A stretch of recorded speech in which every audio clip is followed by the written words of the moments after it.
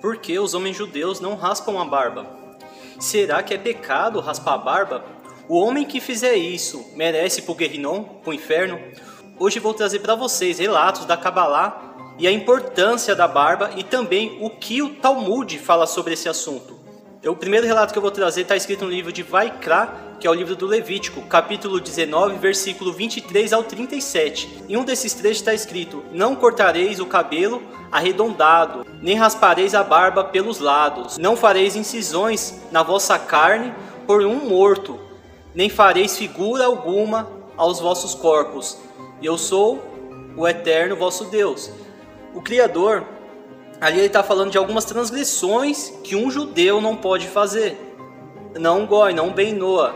Um benoa não entra nessa classificação de raspar a barba, mas se quiser cumprir essa mitzvah, esse preceito positivo, no caso não é não cortar a barba, mas entra como lotoacê que não faça, isso vai ser para o seu mal, que no caso é raspar a barba. Aqui também o homem consegue receber iguarias de Hashem através da barba. Mas não hoje em dia essa barba que está na moda. Que hoje em dia os homens fazem aquela barba de lenhador, a barba bem baixinha aqui e deixa quadradinho nessa parte. Mas esse sentido é o que? Não raspar os cinco cantos da barba. Eu vou deixar uma ilustração aqui, um por um, qual é o canto da barba que não pode ser raspado. E também está escrito em Jeremias, capítulo 41, versículo 5. Chegou de Shirem, de Shiló e de Chorom, um grupo de 80 homens, de barba raspada, de vestes rasgadas, de rosto desfigurados, e trazia incenso para a casa do Eterno, para a casa do Criador, o templo sagrado. Aqui, já o Jeremias está falando que o povo estava em luto. Quando a Torá, a Bíblia, falar que um homem, uma pessoa, no caso um Erudim daquela época, rasgava suas vestes, é porque estava em luto, ou pela destruição do templo, que aconteceu o período também, ou por alguma transgressão que as pessoas estavam fazendo com o Criador. É um tipo de é um tipo de imersão, de tristeza que o povo fazia naquele período.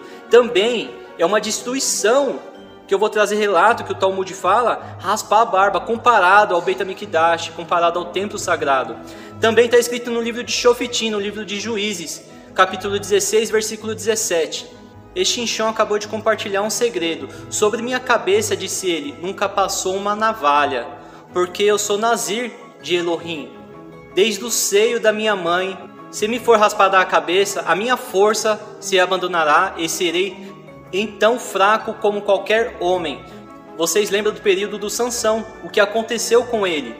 Ele confiou, ele deixou todo o lado espiritual de lado porque ele cobiçou uma mulher ao extremo, independente se ela era uma pessoa voltada para se tirar para a energia negativa ou para a energia positiva, ele confiou um segredo que o Criador proporcionou para ele. Então ele tinha que se conter, ele tinha que se guardar, mas não, ele transmitiu.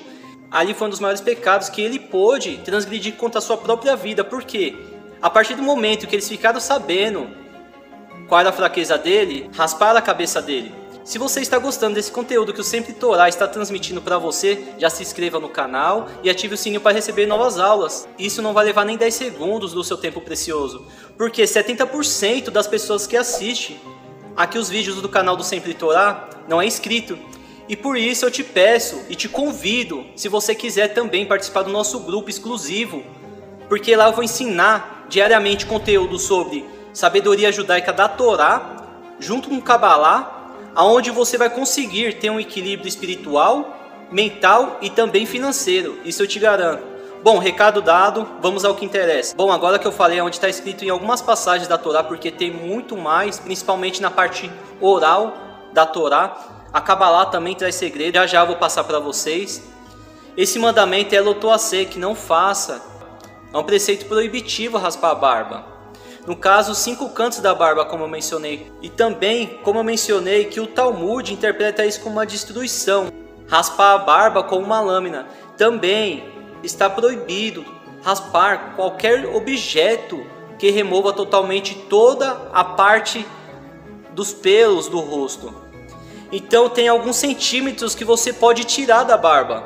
Não tem uma proibição em você cortar a barba, você aparar a barba, cuidar da sua barba, preservar a sua barba. Mas a proibição é você passar uma lâmina nos cantos do rosto. Não pode, a proibição entra nessa categoria. Pegar da parte do pelo até a parte da pele, raspar diretamente. Isso é proibido. Se você quiser cumprir essa mitzvah, deixar a barba crescer e cortar com uma tesoura ou um instrumento que não traga o barbear fornecido por uma lâmina, então essa proibição não é raspar, mas permitido deixar a barba pequena. Mas como a gente sabe que a Torá é magnífica, é maravilhosa e também não é extrema, não leva para o canto do extremismo, tem alguns casos que é permitida a pessoa raspar a barba, em casos de acidentes, em casos de cirurgias. E também, o último caso extremo, escuta bem que eu estou falando para você, você que é homem e quer cumprir essa mitzvah. O maior preceito da Torá é preservação da vida. Se você precisa trabalhar e a única empresa que te contratou até o momento, mas a empresa exige que você tem que tirar a barba, mas você tem que manter o seu shalom bait, você tem que manter a paz dentro de casa. Você pode raspar a barba, desde que você comunique ao seu rabino, o seu morê, o seu instrutor, sabendo o que pode e o que não pode fazer. Então a gente tem que pensar, refletir sobre isso. E também vem um dos maiores comentaristas da Torá explica a razão para a Torá proibir destruir a barba. Porque barbear era uma prática antiga dos idólatras. Além disso, a Cabala dá grande importância à barba, ensinando que isso está conectado, está ligado a um termo cabalístico, aos 13 atributos de misericórdia divina de Deus. E o homem que deixa sua barba crescer, ele torna um beneficiário da fartura que dá origem à compaixão de Deus. Porque não é só a barba que é essa mitzvah, não é algo externo, mas interno. Antes de a pessoa cumprir qualquer mandamento externo, ela tem que interiorizar, ela tem que entender dentro da mente dela, dentro da Neshama dela, o porquê daquele mandamento, o porquê está vivenciando aquele preceito.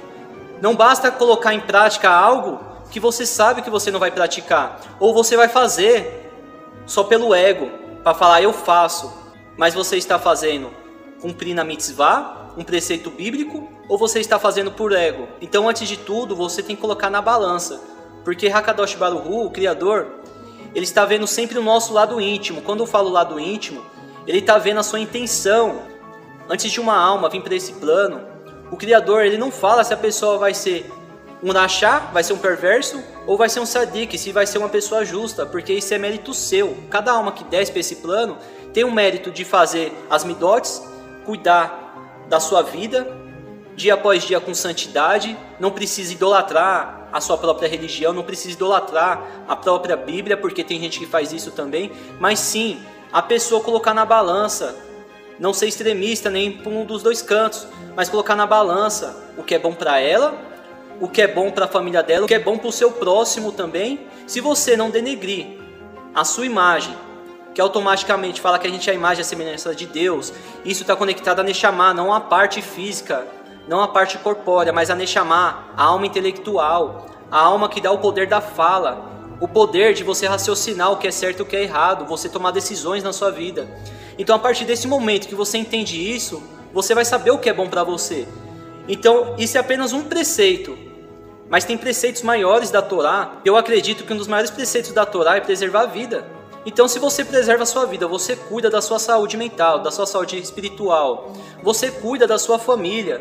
Não falando da boca para fora, porque infelizmente tem pessoas que é assim, na frente de outras pessoas, tenta mostrar que é uma pessoa boa para sua família, mas na verdade você tem que mostrar para você que você é uma pessoa boa. Você tem que mostrar para sua esposa, ou a esposa mostrar para o seu marido que é uma pessoa boa, para seus filhos, que é onde vai gerar suas gerações, para o seu futuro também onde vai mostrar que todo o tempo que você estava conectado com a Torá, com a santidade divina, valeu de alguma coisa. Bom, eu espero que vocês tenham gostado desse vídeo. Sorte na sorte, muito obrigado e até a próxima.